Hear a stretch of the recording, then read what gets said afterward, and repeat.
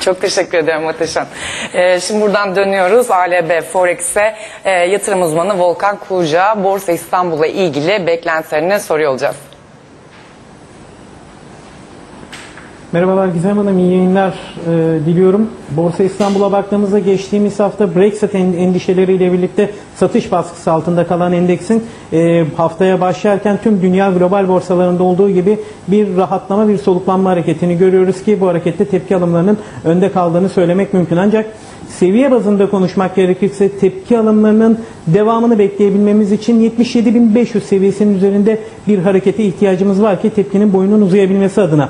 Ama genel görüntü itibariyle baktığımızda endekste yükseliş kalıbına yeniden dönebilmemiz için burada dikkatle takip edeceğimiz seviye 80.000-80.500 bölgesi. Eğer Borsa İstanbul önümüzdeki dönemlerde, önümüzdeki günlerde 77.500 üzerinde kalmaya gayret gösterir ve akabinde yet- e, 80 binli seviyelerin üzerinde kalmaya başlarsa bir miktar daha yükselen kalıp içerisinde yer alabilir. Tabi bunu söyleyebilmek için diğer taraftan global anlamdaki e, izlenimleri de takip etmemiz gerekiyor. Bir, bir taraftan dolar endeksini takip ederken diğer taraftan ABD 10 yıllık faizlerine de bakmamız gerekiyor. Şu anda ABD 10 yıllık faizlerindeki yukarı yönlü hareketi kısmen de olsa e, bir miktar riskli varlıklara yöneliş şeklinde değerlendirebiliriz ama Brexit oylaması e, beraberinde yurt içinde e, faiz e, konusu ve diğer taraftan yılın yapacağı açıklamalar e, bundan sonraki süreçte Borsa İstanbul'a ve global anlamda piyasalara yön vermeye devam edecek. Volkan ikinci bir sorum da altın olacak. Geçtiğimiz hafta sert bir yükseliş görmüştük. Bugün risk algısının tekrar toparlanmasıyla beraber güvenli varlıktan bir miktar çıkış var. Bu noktada 1280 dolarda olan bir altın ons fiyatı görüyoruz. Bu noktada beklentilerin bu hafta için altın tarafında nasıl şekilleniyor?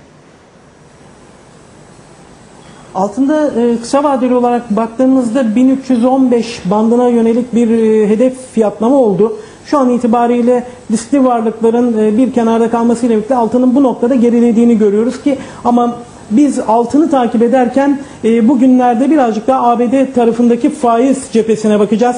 Faizlerdeki yukarı hareketin devam etmesi, e, ABD fa- 10 yıllık faizlerindeki yukarı yönlü hareket noktada altını bir miktar baskı altına alabilir ki bir düzeltme hareketiyle karşı karşıya kalabiliriz. Bu harekette 1270 seviyelerinin altına eğer faizlerdeki yukarı yönlü hareket sürerse gerileme yaşanabilir. Ama fon tarafına dönüp baktığımızda altında e, fon tarafında işler fena git e, fena gitmiyor. 907 tona ulaşan SPDR Gold fonu fon altın varlığı ile birlikte son e, cuma günü açıklanan Amerikan vadeli işlemler komisyon e, komisyon raporunda ise net alımların 276 bin kontrata geldiğini görüyoruz. Altında olası gerilemeleri şimdilik düzeltme hareketi olarak değerlendirmekle birlikte 1325 dolar üzerindeki hareket, e, hareketliliğin orta vadeli yeni bir çıkış trendinin kapısını aralayabileceğimizi unutmamak gerekiyor.